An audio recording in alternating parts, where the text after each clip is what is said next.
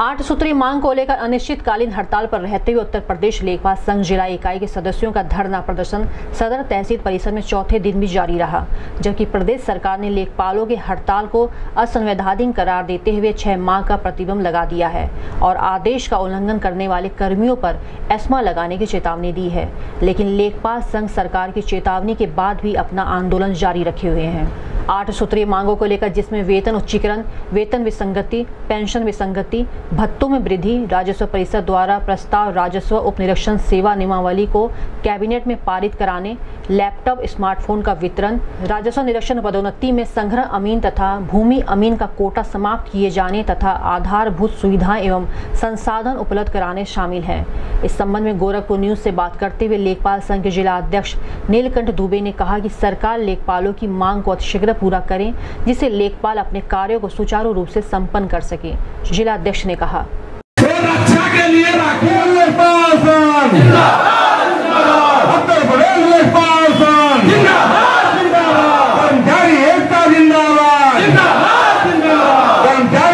जिंदाबाद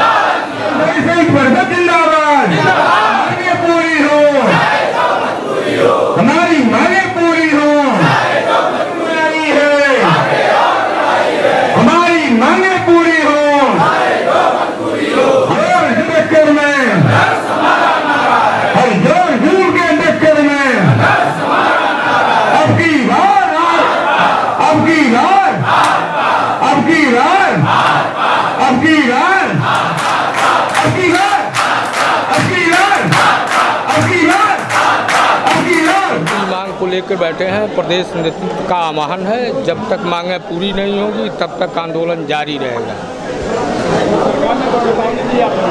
सरकार चेतावनी दी है, उसकी कोई चिंता नहीं है। हम लोग उसका भी मुकाबला करने के लिए साफ़ तैयार हैं।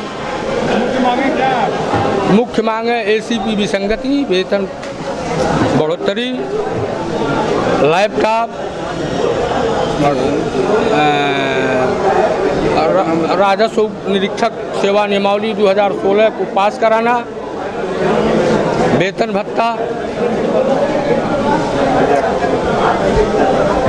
भत्ता और क्या है? Grade pay. ग्रेड पे हो गया।